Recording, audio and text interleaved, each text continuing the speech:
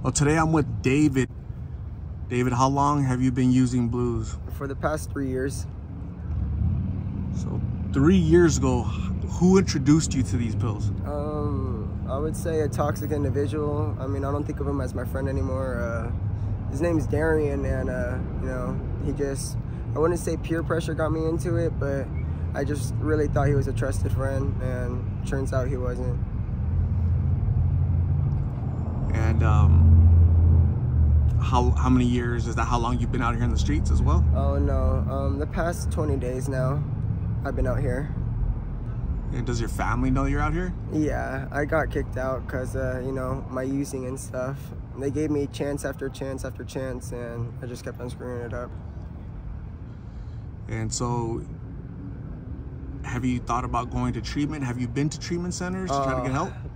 I've been to at least seven, and nothing works. Uh, I had this therapist, you know, he was really helpful, but my grandma didn't really recommended him for me, so I don't really know.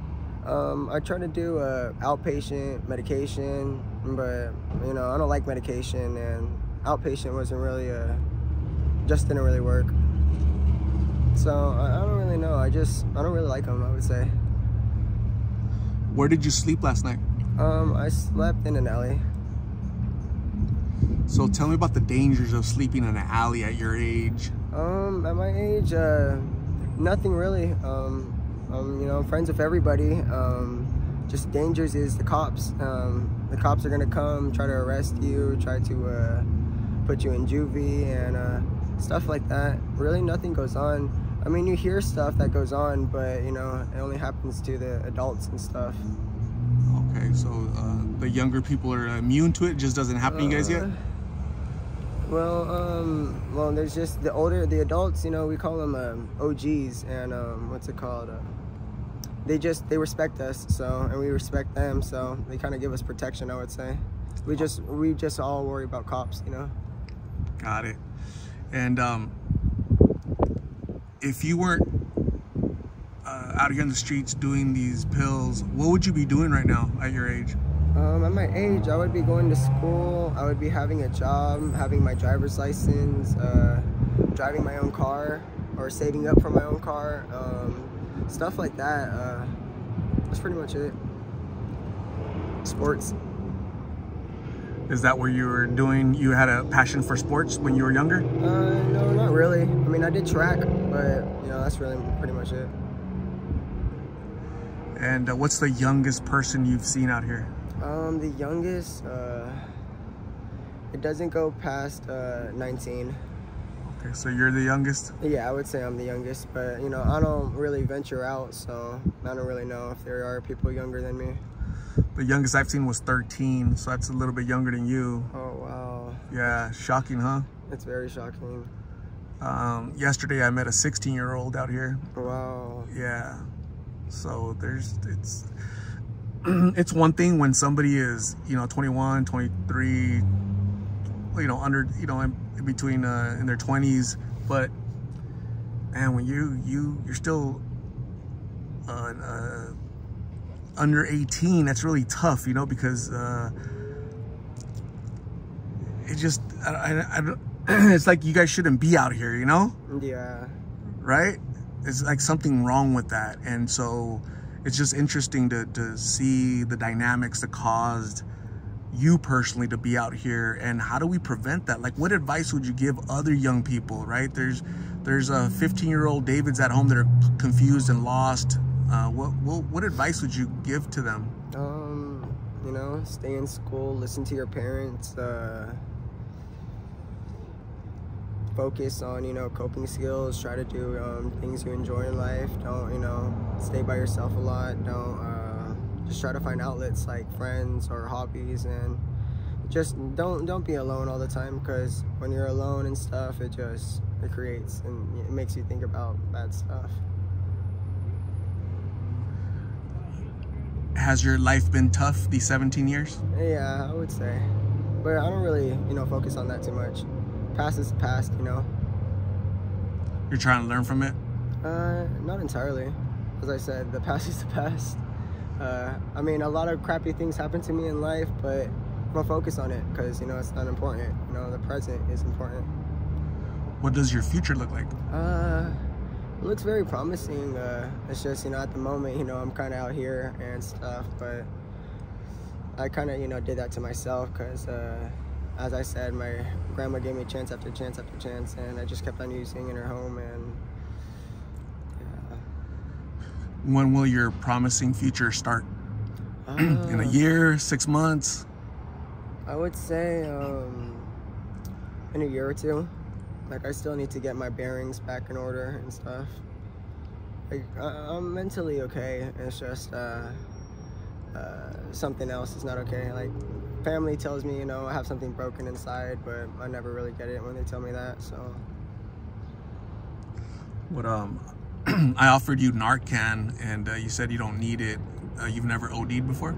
no, um, the the hospital gave me Narcan. My grandma gave me Narcan, not because I was ODing, because you know they thought I needed it, and it's the most crappiest feeling ever. You know, when you're not ODing and you get Narcan, and it just makes your body feel so sick and so uh, disgusting. I mean, I would get it if I was, you know, losing consciousness and uh, falling in and out or breathing heavily, but I wasn't doing any of those things. So somebody administered Narcan to you when you didn't you didn't need it, and it made you feel bad. Yeah, horrible. Okay. Um, every day, what's your goal every day? Every day, um, just try to make some. Uh, know this might sound bad, but try to find people to social. With, try to find people to socialize with. Uh, you know, I don't really like to be alone because you know, as I said, it creates problems. So I just try to find people out here and just become friends with them and see where the road takes me. Of course, I'm not trying to stay on this road for very long, um, but it's just at the moment I know. Grandma doesn't want me back, uh, stuff like that, and police are, you know, on my tail. So it's just, yeah. Uh, there's been some burnt bridges with family and friends, or what? Uh, no, uh, just me mostly. You know, my mental health wasn't good, so I would just burn, uh, you know, ghost them. Uh, ghosted my ex of three years because of drugs, and you know, I ghosted ton- I ghosted all my friends because of drugs and stuff like that. You know, they don't burn bridges with me because I don't tell them anything, but I usually burn bridges with them. It seems like you've lost a lot these past three years. Yeah, you could say that. And um, why do you think these pills are so popular with the young people? Uh, I really do not know. Um, it's hard to say, to be honest. Uh, cause it's new. Cause it's. Uh,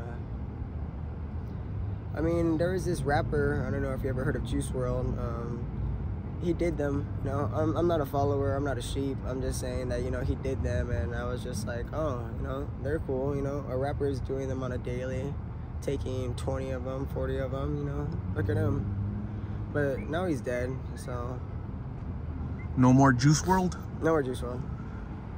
He OD'd from these, or what? No, he was uh, getting off his private jet, and he had over 80 pounds of weed and some guns, and he was trying to um, go to the hospital, so he took uh, too much prescripted. Uh, I don't know if it was lean or not, but uh, he kept on drinking it, and then he had a seizure in the hospital, and then he never woke up.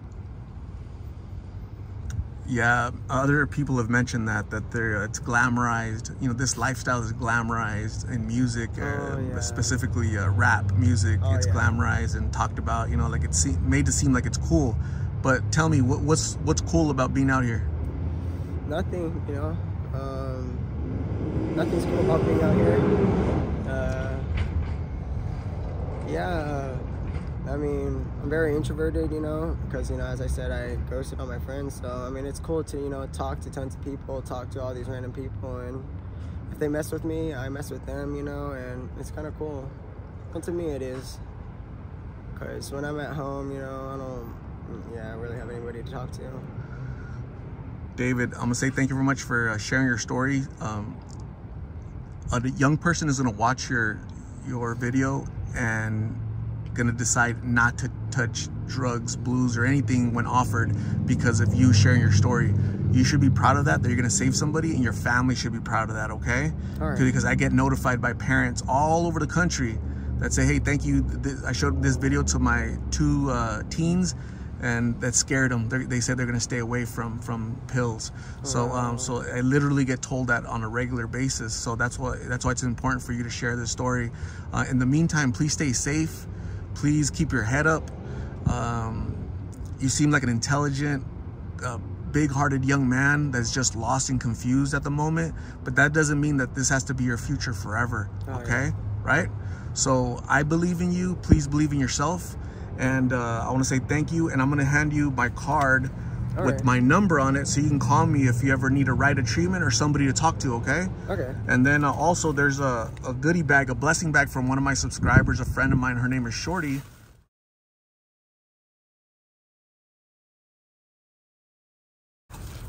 Can, can you look in there just really quick to see if those are items you could use? Oh yeah, these are all items I can use. A blanket, some a washcloth, and um, some a mask. Yeah, these are all items I can use. Thank you. There's also a little card in there. Can you pull out the card really quick? And she, if you could just read that card for her really quick. Yeah, I got you.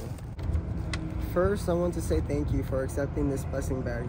My family and Kelly helped me make for you. I only ask that you do me a favor. Say a prayer for me as I battle my struggles with depression, anxiety, and awful thoughts as well. When you can, please pay, pay it forward and bless someone by simply being a friend and helping someone in need. I hope these items help out a little. Be safe or please call Art to go to treatment. We really do care for you and are praying for you. Love, uh, Shorty.